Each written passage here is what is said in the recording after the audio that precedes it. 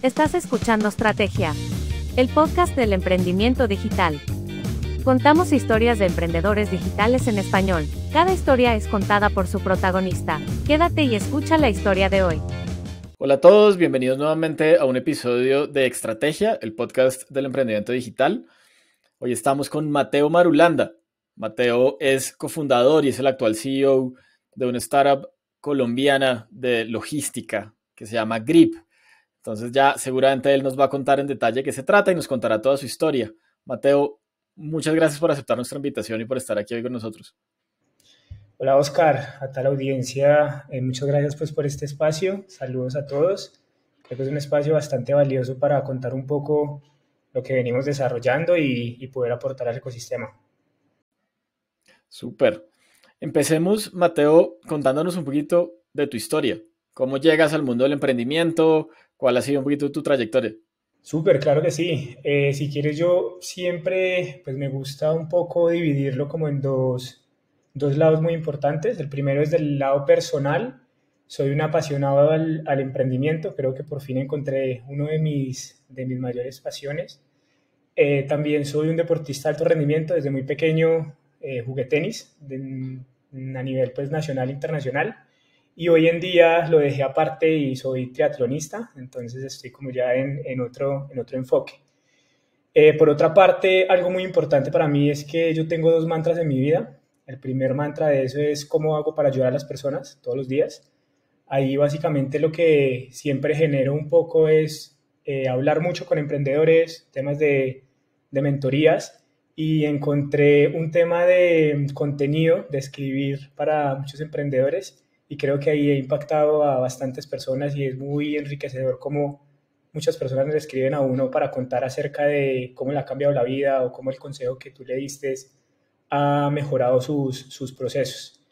Y por último, el, el, último mantra mío es cómo aprendo todos los días y ahí pues básicamente lo que, lo que hago es me capacito un montón. Siento y creo que la mejor forma para uno crecer como persona y profesional es nunca parar de aprender entonces hay concursos, escucho mucho podcast, leo un montón, artículos, eh, entonces es un poco desde mi lado más personal. Ya por último, de la parte más laboral, yo comencé mi vida trabajando eh, en un corporate, trabajé en el grupo Nutresa, la parte comercial y de ventas, ahí estuve casi un año y medio apoyando mucho eh, básicamente toda la, la, planeación de las diferentes líneas marcas de, de Cremelado. Ellos en el año tienen casi como 32 lanzamientos. Entonces ahí apoyar un poco toda la distribución de cómo va a ser pues todos los lanzamientos eh, a nivel nacional. Por otra parte, después estuve mm, trabajando en Fitball, eh, una startup de, del grupo pues Santo Domingo. También ahí arranqué un poco esa aventura creando todo el, eh, todo el equipo que estaba más enfocado en la parte corporate, Fitpal cuando ingresé se enfocaba un montón en, en, el B2C, entonces ahí fue el camino de cómo empezar a crear todo el equipo y cómo consolidarnos, cómo crear el producto. Y ya por último también cómo manejar pues eh, todo el proceso de expansión a nivel, a nivel eh, ya Colombia. Después de eso pues dada la pandemia eh, los, los, diferentes gimnasios eh, cayeron un montón, nadie podía ir ni nada, entonces por decisión de junta directiva tocó recortar drásticamente el, la nómina de, de Fitpal y ahí un poco fue una oportunidad grandísima para mí porque fue el espacio en donde comencé la aventura en la que hoy estoy, eh, que ya les contaré pues un poquito más. Y ahí fue cuando inicié todo el proceso en Grip Logística. Súper, súper, qué bueno. Entonces llegas a Grip, entonces arranquemos a hablar de Grip. ¿Qué es Grip? ¿Cómo nació esa, esa idea? Eh, ¿Y cómo ha sido el viaje también que has tenido en este nuevo emprendimiento? Súper. Eh, esta es una historia bastante pues, peculiar eh, porque nosotros cuando iniciamos el proceso antes no teníamos grip logística. Cuando nosotros empe empezamos, empezamos en plena pandemia, eh, pero teníamos, antes de que nos confinaran completamente, cuando la, literalmente la, la alcaldesa nos dijo, vamos a hacer como diferentes eh, pruebas, el tema, nosotros teníamos otra empresa que se llama Grid Bike. Alcanzamos a estar casi tres meses al aire con Grid Bike y básicamente lo que nosotros hacíamos era eh, ofrecer servicio de acompañamiento para motorizados, eh, para ciclistas. Entonces, si vos, por ejemplo, querías eh, salir a montar bicicleta y querías una escolta, una persona que te protegiera, o si te pinchabas, ahí estaba como el soporte y ahí, además de eso, le queríamos meter un poco de tech. Pero bueno, mejor dicho, pasó de todo. Y ahí después con mis socios eh, tuvimos una, una conversación bastante profunda de decir, bueno, ¿qué hacemos? o cerramos esto, cada uno va y consigue trabajo eh, o iteramos el modelo de negocio.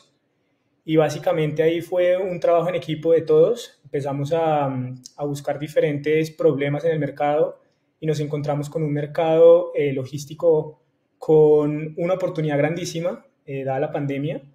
y lo que hicimos un poco fue coger ese activo que nosotros teníamos, nosotros les decimos los grips a estos motorizados, y ponerlo al servicio y en su momento era para mantener esa nómina eh, mientras que pasaba el confinamiento. ¿sí? Seguramente iban a ser dos o tres meses mientras que pasaba eso. Dada la sorpresa, conseguimos el primer cliente, eh, hicimos un piloto con él y seguimos creciendo, seguimos adquiriendo nuevos clientes y ya hoy después de casi un año y medio ya seguimos en estas. Muy interesante porque además evidentemente la pandemia como que puso al descubierto todas las falencias logísticas que tenemos en Colombia y en general en Latinoamérica para poder mantener la economía a flote un poquito, ¿no? Total, total, como tú lo acabas de decir, creo que fue un boom, algo que explotó y donde eh, no solamente las grandes, las grandes compañías vieron su dificultad, sino también las mismas pymes. Y ahí fue un poco, eh, y ahí lo voy alineando con nuestro propósito y es ¿Por qué hoy en día hay tan pocas empresas dedicadas a este mercado absurdamente grande de las pymes? Porque todo el mundo hoy en día les está enfocando un montón en esos marketplaces gigantes de mercado, de mercado libre, de Falabella, de Linio, y por qué no en nuestras pymes que hoy en día representan casi el 90% del aparato productivo del, del, país, generan más de 17 millones de, de, empleos, o sea, realmente tienen, tienen un poder muy grande de, desarrollo económico. Entonces fue ahí un poco, y es ahí parte de nuestra misión, y es como nosotros vamos a impactar positivamente a, esas pymes por medio de un buen sistema logístico, eh, ofreciendo también eh, tecnología, ¿sí? Y hay algo muy interesante en nuestro modelo de negocio, eh, y es que otra cosa que nos dimos cuenta, y es que a estas pymes nos, les están dando la oportunidad de darles crédito. A lo largo de este camino, nos hemos dado cuenta con nuestros clientes que hoy en día tenemos que por medio de un apalancamiento nosotros han podido mejorar toda la eficiencia operativa de ellos, en donde por medio de diferentes créditos semanales ellos pueden tener una mayor eficiencia en su, en su operación, apoyado 100% en un aliado como lo somos nosotros. Total, total, y es un mundo lleno de oportunidades. Hablemos un poquito de cómo funciona la plataforma en sí, digamos, cómo funciona Grip Logística. Súper. Eh, nosotros ahorita estamos en una etapa de construcción constantemente. Creo que hemos pasado por muchas etapas, desde un producto mínimo viable eh, hecho en una plataforma no code hasta pasar ya a empezar a crear nuestra plataforma desde cero. Actualmente lo que nosotros ya tenemos es una plataforma eh, que empezamos a crear. Básicamente en este momento lo que nos permite es agendar diferentes servicios. Los diferentes clientes pueden tener un dashboard en donde va a tener información acerca de, su, de las diferentes data que se va recogiendo de la, de la operación. También puede ver en tiempo real como cómo va también el servicio para bajar un poco ese nivel de, de incertidumbre. Y aparte la tecnología le metimos un poco también de calor humano. Entonces es un híbrido bastante interesante en donde tenemos un camp que lo que ayudamos un poco es a generar como esa empatía con nuestros clientes. Sabemos hoy en día cómo hay varias empresas en donde han ido a la ultra automatización de todo, en donde cualquier proceso tiene que pasar por un bot o una lógica, en donde al final, después de varios capítulos, no termina solucionando nada, o al otro extremo, en donde tienen todo un call center eh, contratado, tercerizado, en donde no tiene ninguna, ninguna afinidad con la operación, entonces no hay como eh, cierta eh, empatía para poderte dar una solución inmediata. Entonces ahí también fue una solución en donde por medio de este camp sirve como ese canal de comunicación para bajar ese nivel de, de incertidumbre. Al final lo que nosotros también tratamos es tener una venta muy consultiva, no, no nos interesa tanto ese enfoque simplemente adquiramos, adquiramos, adquiramos cliente a la lata, sino entender muy bien la necesidad de cada pyme. Creo que hoy en día nadie se ha tomado el trabajo de, entenderlas, de, saber por qué ellos eh, seguramente no, no, no, pueden tener una tarifa de lo que hoy en día les está ofreciendo el mercado, ¿sí? cómo ayudarlos realmente a crecer, eh, qué dolores tienen desde la parte de tecnología, desde la parte también logística. Entonces creo que es un, es un esquema bastante interesante que nos permite entender muy bien qué quiere nuestro cliente. Total.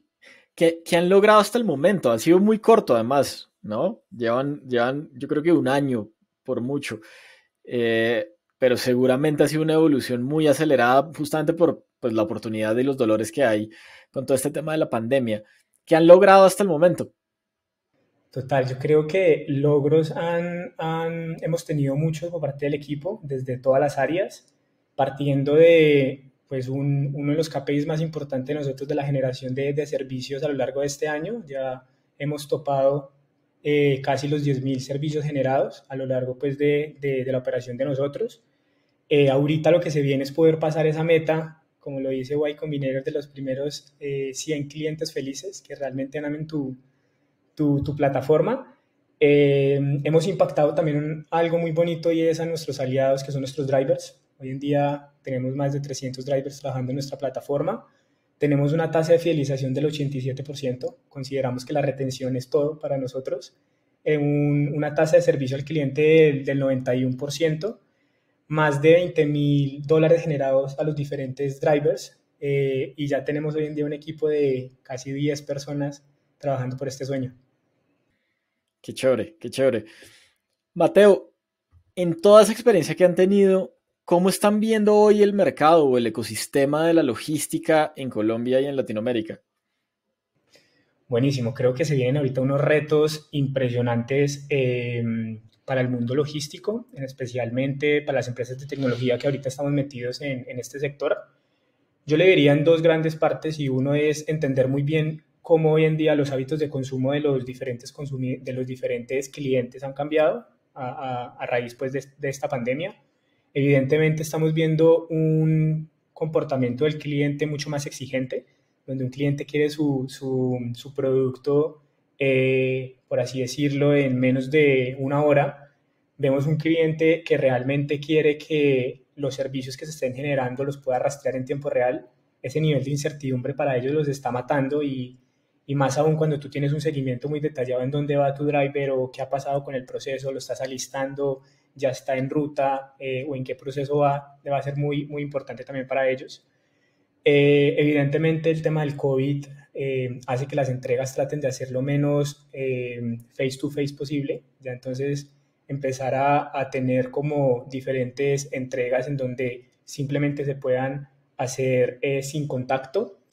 y otro tema también muy importante y es que el crecimiento del e-commerce es, es, es evidente creo que hay cada vez más empresas metidas en el mundo de la digitalización que están haciendo ese, tránsito, entonces esto va a generar también un boom bastante grande.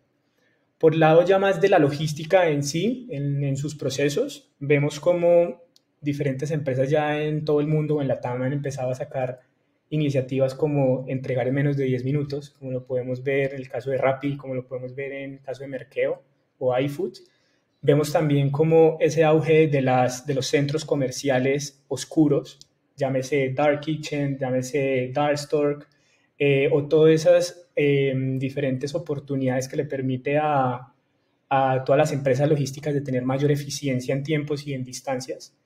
También estamos viendo es cómo vamos a hacer la, la, la tarea para poder integrar a todos estos e-commerce de una manera mucho más fácil, de una manera de solamente un clic te permita ya, desde el momento en que hizo el pedido, ya se pueda estar alistando y se pueda estar despachando en pocos minutos.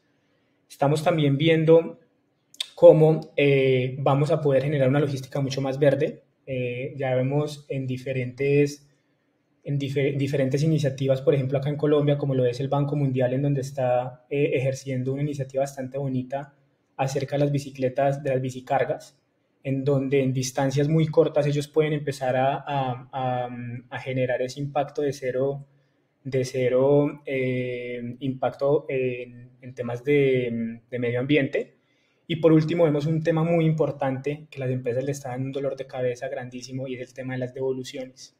Hace poquito leí un tema interesantísimo que decía que Walmart está eh, tomando muy a pecho la posibilidad de poder cambiar su esquema de devoluciones, en donde le pueda decir a su, a su cliente final, quédese con eso, no hay ningún problema, que para mí me sale más caro ir donde usted está, volverlo a traer a mi centro de acoplo y volvérselo a llevar.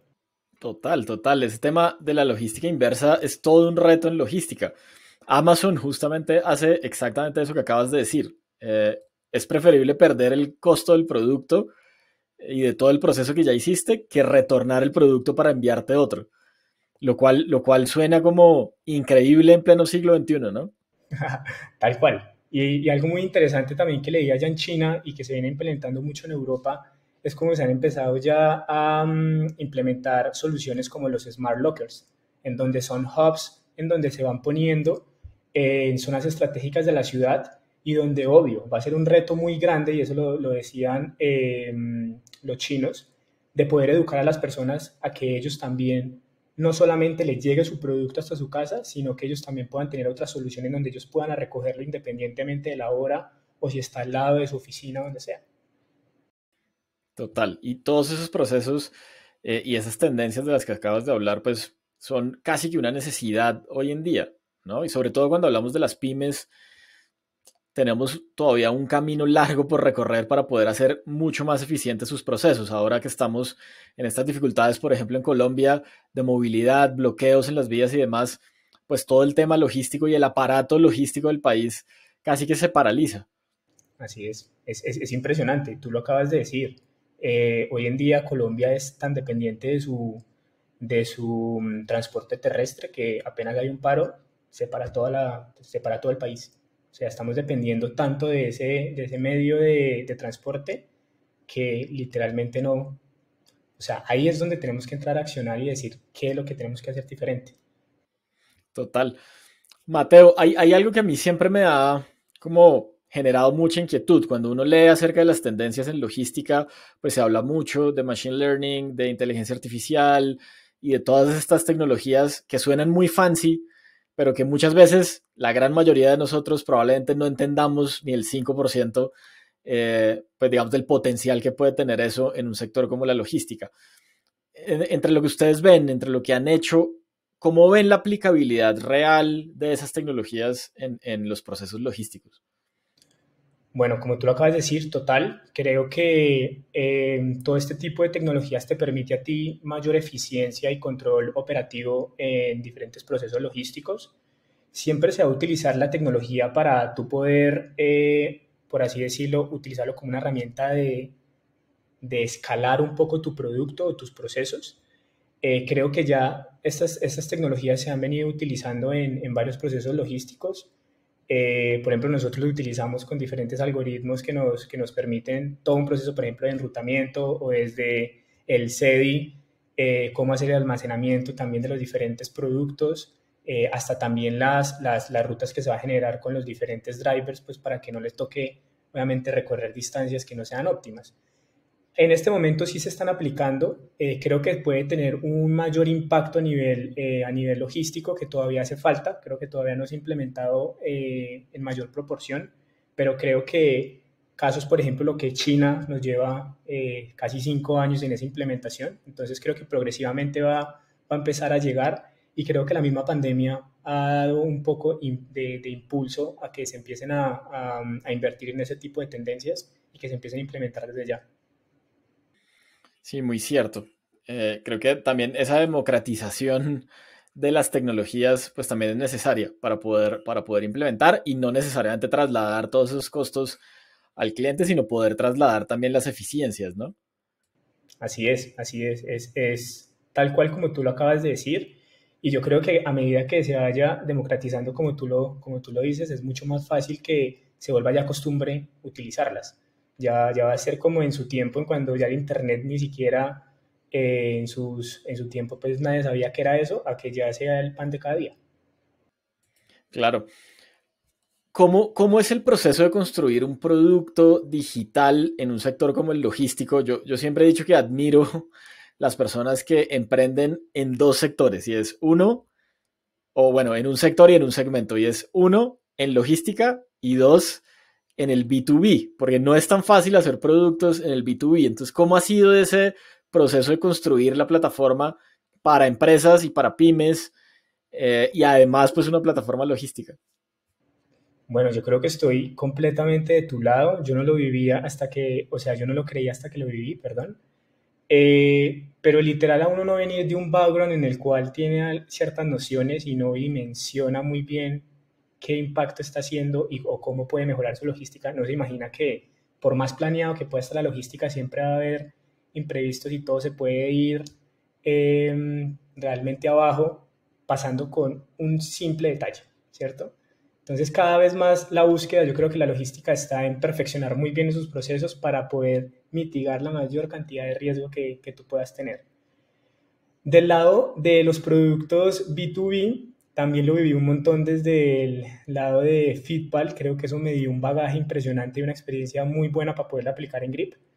Eh, creo que todo el reto vino por parte del equipo de poder, de poder implementar este, este producto que, que tú nos acabas de decir. No fue nada fácil, pero creemos que por medio de ese loop del aprendizaje de poder construir, medir eh, de poder construir, de poder eh, aprender, medir y aprender, eh, creo que nos, nos, ayudó un montón a, a, entender qué es lo que realmente le duele al cliente ¿sí? y qué es lo que realmente necesita.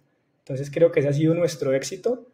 Eh, yo también creo que gracias a, los, a, las mismas pymes, a sentarnos con ellos eh, miles, miles, miles de, de, horas para poder reestructurar, para poder que probaran nuestra plataforma, para saber si realmente lo que nosotros estábamos creando les generaba valor a ellos.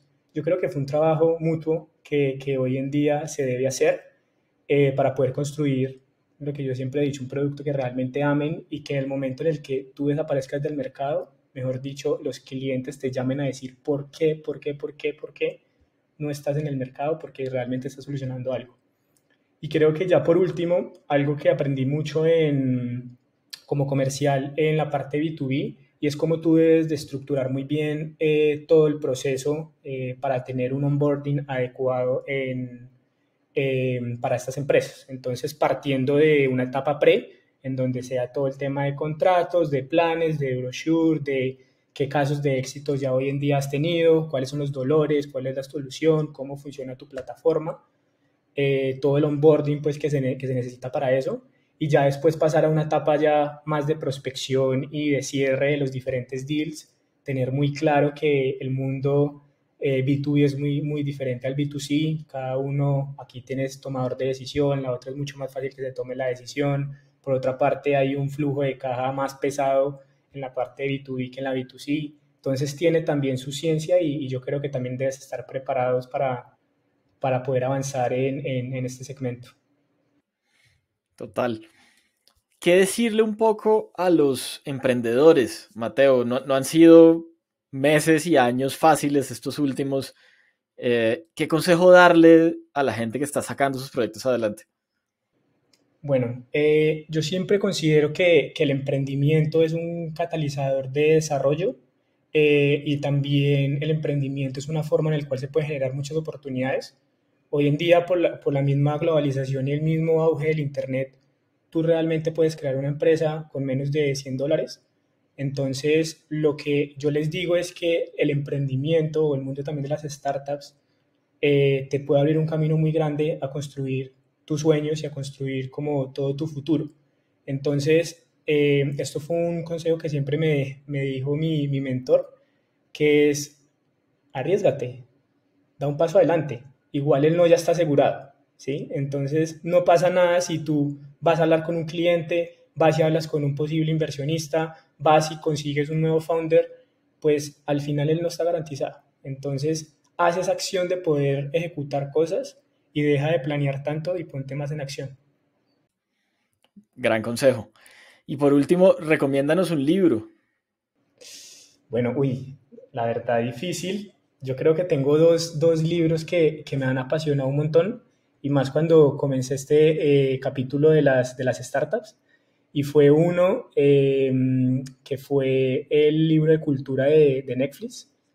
eh, se lo súper recomiendo. Una persona que realmente quiera eh, implementar una, una, cultura se lo tiene que leer. Yo creo que es una forma de pensar completamente diferente, eh, que puede sacar muchas cosas positivas ahí. Y otro libro que realmente, si tú vas a ser un founder y quieres crear una empresa de mucho impacto, The Hard Things About Hard Things. Yo creo que eso es un manual impresionante. Buenas recomendaciones. No he leído el de Netflix, pero me han hablado muy bien. Y, el segundo que recomendaste es, casi como un must para todos.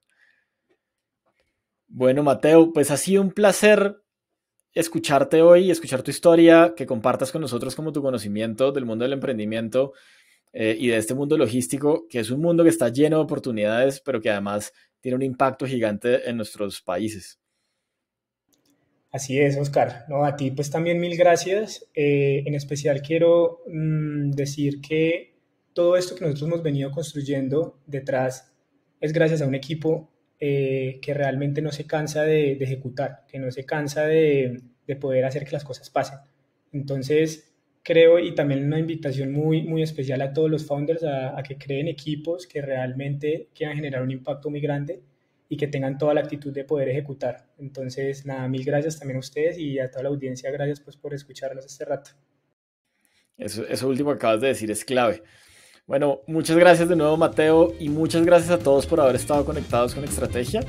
Hoy eh, hemos tenido una conversación muy interesante sobre logística y pues vienen muchos más episodios, vienen muchos más emprendedores latinos, eh, hispanohablantes para seguir generando contenido para el ecosistema. Así que sigamos ahí conectados y les recuerdo que nos encuentran en cualquiera de las plataformas de podcast y en YouTube también como Estrategia Podcast. Así que muchas gracias y nos vemos en el siguiente episodio.